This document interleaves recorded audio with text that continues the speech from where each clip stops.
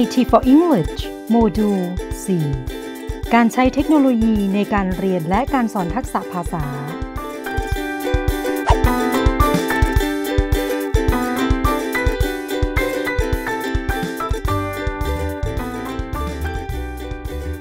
การประยุกต์ใช้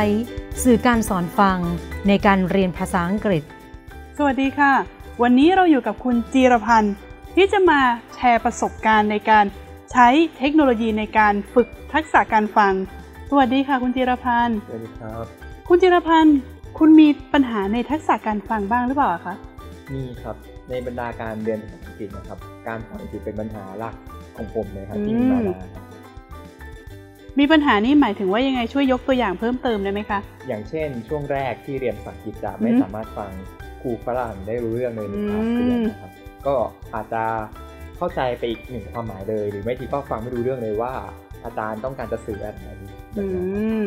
อ่าแล้วถ้าอย่างนั้นเนี่ย เวลาที่อยู่ในห้องแล้วฟังไม่เข้าใจคุณทำยังไงอะคะคือเริ่มจากอย่างแรกก่อนเราต้องรู้ว่าเราเรียนกับอาจารย์ชาวต่างชาติ ซึ่งเราก็จ่ายค่าเทอมไปแล้วอือฮึเราสามารถถามทุกสิ่งทุกอย่างกับอาจารอืย์ได้เลยมซึ่งเราสามารถ make sure ได้ว่าอาจารย์ต่างชาติเนี้ยต้องมีความรู้เรื่องภาษาไทยมาบ้าง ซึ่งเขาก็ต้องพยายามเข้าใจตัวนักเรียนได้เช่นกันครับ หรืออีกอย่างหนึ่งก็อาจจะเป็นการถามเพื่อนอืมก็ได้ครับ เริ่มจากการถามเพื่อนว่า เมื่อกี้อาจารย์พูดถึงอะไรแบบที่เราเข้าใจอย่างนี้ถูกหรือเปล่าเนี่ยครับอ่าแล้วถ้าสมมุติว่า อาจารย์ฝรั่งพูดภาษาไทยไม่รู้เรื่อง ฟังภาษาไทยไม่รู้เรื่อง แล้วคุณจะทำยังไงอีกอะคะมันก็ต้องเป็นการ ที่เราต้องเหมือนดิ้นรนด้วยตัวเองอืมเช่นการใช้ dictionary อือฮึเราพูดไปบางคำแล้วพยายามสื่อสารด้วยภาษาท่าทางอือฮึแล้วก็จะเหมือนกับว่าทำให้เข้าใจมากขึ้น แล้วทำให้เข้าใจไปในทางเดียวกันระหว่างตัวอาจารย์กับตัวนักเรียนอืมค่ะ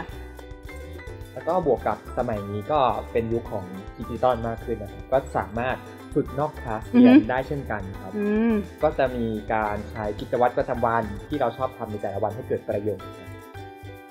เช่น อย่างตัวผมเองผมจะชอบการฟังเพลงอือฮึการดูหนัง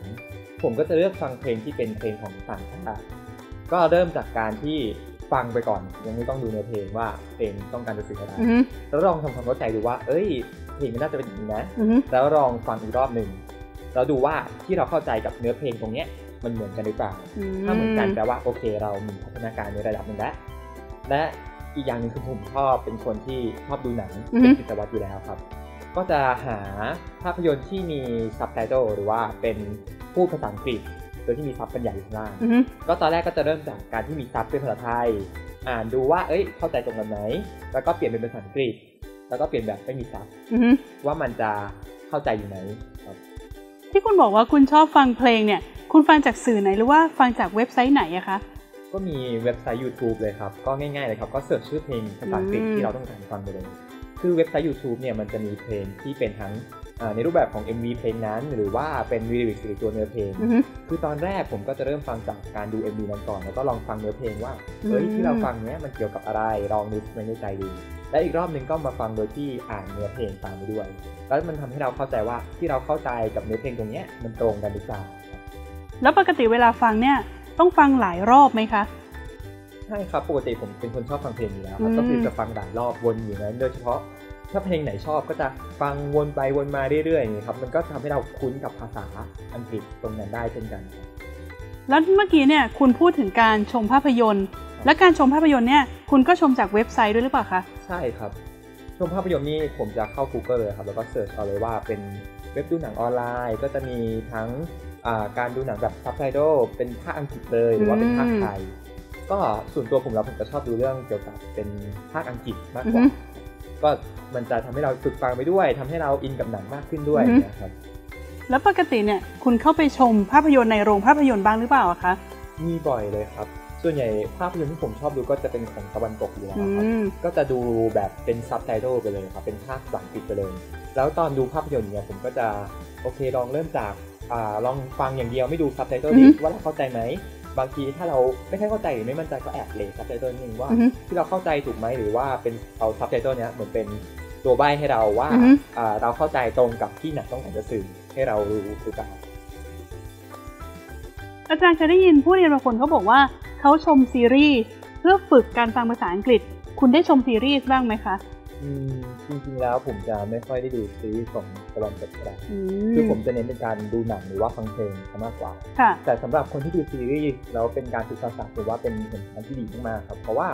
อย่างที่ผมบอกไปเมื่อตอนแรกๆครับก็คือการโยงกิจวัตรประจำวัน หรือสิ่งที่เราชอบกับการฝึกเรียนรู้ให้ได้มากที่สุดถ้าคนไหนชอบในการดูซีรีส์ก็ลองดูซีรีส์ที่เป็นภาษานั้นโดยที่โอเคเริ่มจากการซับไตเติลก่อนก็ได้ แล้วก็ค่อยๆปรับดูเพราะว่ามันเป็นแนวทางที่ดีมากๆครับสำหรับ การฝึกการฟังเพราะว่าเราได้อยู่กับสิ่งที่เราชอบก็คือการดูซีรีส์แล้วเราก็ได้รับการฝึกการฟังภาษานั้นๆไปด้วยนอกจากเว็บ YouTube กับพวกเว็บดูหนังออนไลน์เนี่ย คุณได้ลองฝึกฟังจากพวกเว็บไซต์ที่ออกแบบมาเพื่อการฟังโดยเฉพาะไหม จริงๆก็พอมีบ้างนะครับ อย่างเช่นเว็บ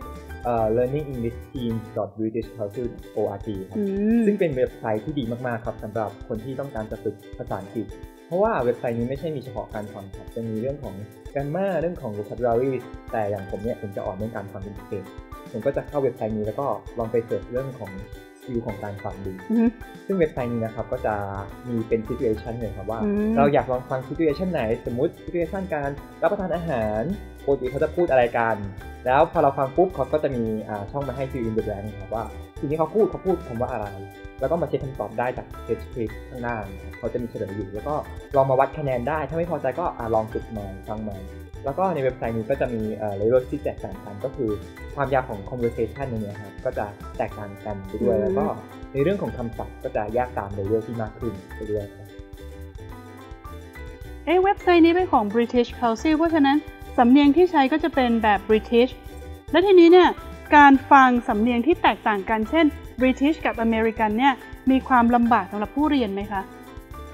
ก็อาจจะมีความลำบากอยู่ในระดับหนึ่งครับ อย่างสำหรับตัวของผมเองเนี่ย ผมจะชอบสำเนียงที่เป็นอเมริกันนะครับเพราะว่าส่วนตัวแล้วผมรู้สึกว่าสำเนียงอเมริกันฟังง่ายฟังคล่องรู้สึกสบายใจเวลาฟัง แต่ว่าพอมาเป็นสำเนียงของบริติชแล้วเนี่ย มันจะยากเพราะว่าสำเนียงบริติชบางคำ อย่างเช่นตัว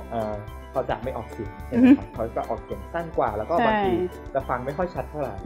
ผมก็รู้รู้จุดอ่อนตัวเองว่า ผมเป็นคนที่อ่อนการฟังในสำเนียงบริติชโดยเฉพาะนะ ผมก็เลยเข้าเว็บไซต์นี้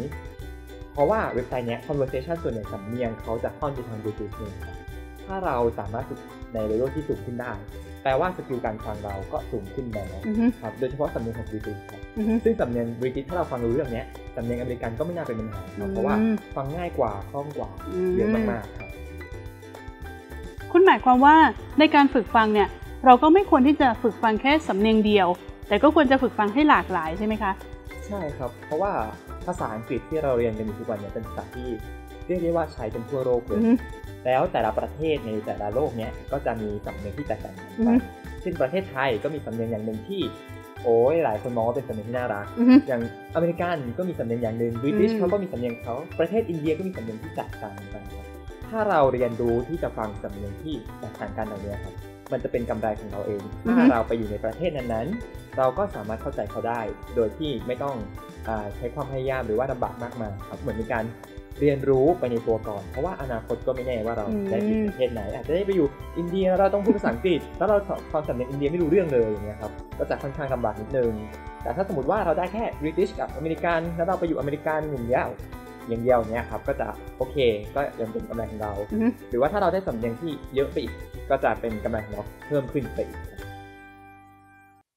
สุดท้ายคุณมีอะไรจะฝากถึงเพื่อนๆ เกี่ยวกับการฝึกทักษะการฟังโดยใช้เทคโนโลยีบ้างไหมคะครับก็อยากจะฝากว่าปัจจุบันนี้ครับเราอยู่ในยุคที่เป็นเทคโนโลยีก้าวไกลมากครับแต่ว่าเราสามารถเข้าถึงอินเทอร์เน็ต ได้อย่างง่ายดายและการเข้าถึงอินเทอร์เน็ตเนี้ยเราสามารถใช้ให้มันเกิดประโยชน์กับตัวเราได้ก็คือการใช้ในจุดของเรื่องของภาษานั่นเองครับโดยเฉพาะอย่างยิ่งในเรื่องของการฟังนะครับ เราสามารถคลิกเข้าไปอย่างเว็บเว็บไซต์เว็บใดเว็บหนึ่งก็ได้ครับ เพื่อที่ให้เราได้ฝึกพัฒนาการฟังภาษาอังกฤษ เพราะว่าการฟังนี้เป็นถือถือเป็น skill ที่สำคัญมากๆของเราอย่างหนึ่งเพราะว่าถ้าเราฟังไม่เข้าใจเราก็ไม่สามารถสื่อสารได้ และการสื่อสารที่เราสื่อสารไม่ได้ มันก็จะไม่ประสบความสำเร็จครับ ก็อยากให้ทุกคนพยายามฝึก skill ด้านตรงนี้ด้วยนะครับ วันนี้ก็ต้องขอขอบคุณคุณจิรพันธ์มาก ๆ นะคะ ที่มาแชร์ประสบการณ์ในการฝึกภาษากับเรา อย่าลืมนะคะ หลังจบการสัมภาษณ์ในวันนี้ ลองไปเข้า YouTube หรือว่าชมภาพยนตร์ออนไลน์ หรือเข้าตามเว็บไซต์ที่คุณจิรพันธ์ได้แนะนำไว้ แล้วเรามาพบกันใหม่ในคลิปต่อไป สวัสดีค่ะ